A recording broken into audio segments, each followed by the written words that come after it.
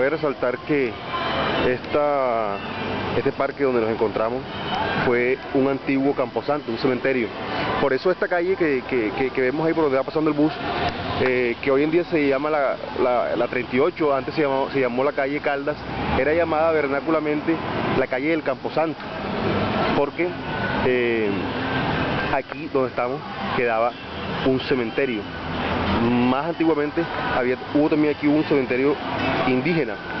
Y eh, la carrera 38, que sería la, la intersección con esta, allá en el eh, extremo hacia donde nos dirigimos, era conocida como la calle, como la, el callejón de igualdad. A dar un vistazo ahí rápido.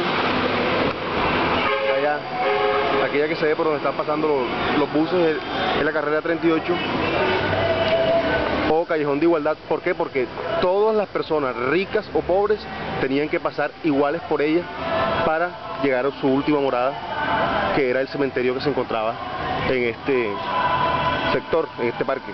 Aquí eh, hubo, aquí donde está la, biblioteca hubo una inspección de policía, después de, que se trasladó el cementerio y finalmente eh, se construyó la biblioteca y, se ubicó la, estatua de la libertad.